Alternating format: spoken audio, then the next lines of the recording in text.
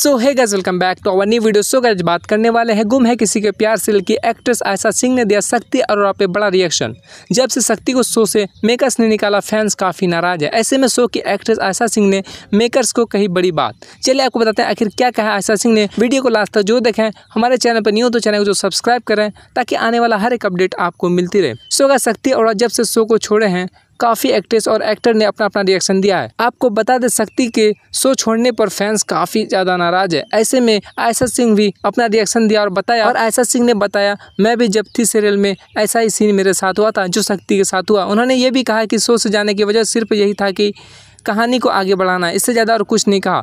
आयशा सिंह ने यह भी क्लियर कहा कि शक्ति और को भी शो से मेकर्स ने रिप्लेस कर दिया है, क्योंकि उनको अब न्यू एक्टर चाहिए। और आगे बताया कि ऐसे ही सेम मेरे साथ भी हुआ था, क्योंकि मेकर जब शो से निकालते हैं तो कुछ नहीं बताते हैं। बस लास्ट एपिसोड शूट होने से पाँच दिन पहले बताते हैं ताकि कुछ ना हो पाए। सो अगर आप लोग ज़रूर बताएँ, क्या शक्ति को दोबारा देखना चाहते हैं कॉमेंट करके बताएँ। वीडियो अच्छा वीडियो लाइक करके चैनल को जो सब्सक्राइब करें। मिलता हूँ नेक्स्ट वीडियो में और अपडेट लेकर। तब तक के लिए बाय बाय टेक केयर